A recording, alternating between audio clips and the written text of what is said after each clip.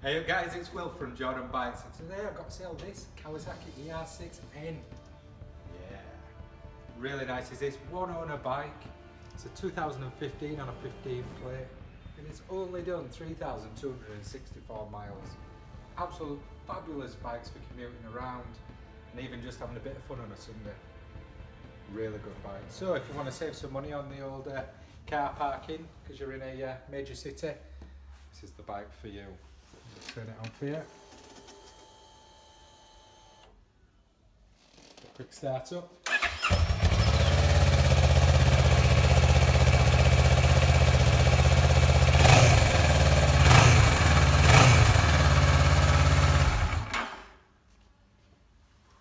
Properly nice is this. Nice and clean. However, how much is it? £4,190.